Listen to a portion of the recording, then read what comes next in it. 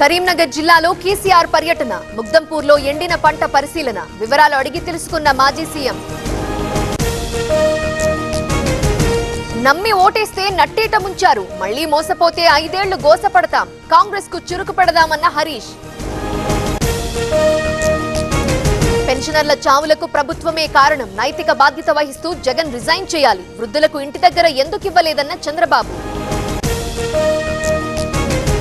కడప జిల్లాలో షర్మిల ప్రచారం బస్సు యాత్రతో జనంలోకి కాంగ్రెస్ తోనే అభివృద్ధి సాధ్యమని వ్యాఖ్య.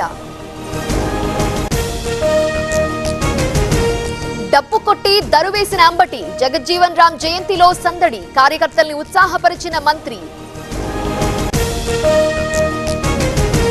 కాంగ్రెస్ గూటికి కూన దీపాదా సమక్షంలో చేరిక శ్రీశైలం గౌడ్కు కండువా కప్పి ఆహ్వానం.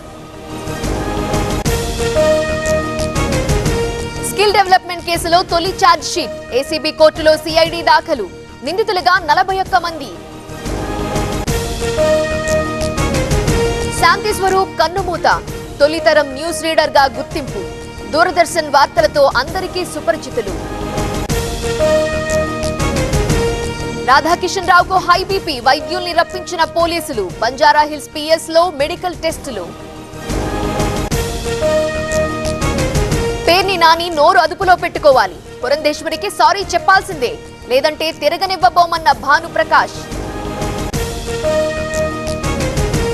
ఘనంగా జగజ్జీవన్ రామ్ జయంతి. నివాళి అర్పించిన సీఎం రేవంత్. హాజరైన దీపాదాస్ నేతలు.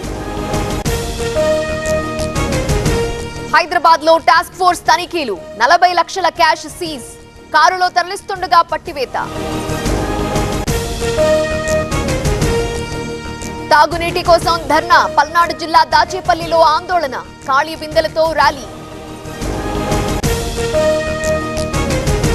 బొగ్గు రైలు బోగిలో మంటలు. వెంటనే మేల్కొన్న ఫైర్ సిబ్బంది. గుంటూరు జిల్లా తాడేపల్లిలో ఘటన. కాంగ్రెస్ మేనిఫెస్టో విడుదల. న్యాయపత్ర పేరుతో రిలీజ్. కులగణన చేస్తామని హామీ. రైతులు శ్రామికుల మేనిఫెస్టో అన్ని వర్గాలతో మాట్లాడాకే తయారీ. అందరికీ సంక్షేమం అందిస్తామన్న రాహుల్. తమిళనాడులో ఐటీ సోదాలు వేలూరు జిల్లాలో అధికారుల తనిఖీలు వ్యాపారవేత్తల ఇళ్ళే లక్ష్యంగా దాడులు. అయోధ్యకు పోటెత్తిన భక్తజనం కిటకిటలాడుతున్న పరిసరాలు రామయ్య దర్శనం కోసం బారులు. ఎంట్రీ పాసుల దుర్వినియోగం. బ్లాక్ దందాపై కేసు నమోదు చేయాలి.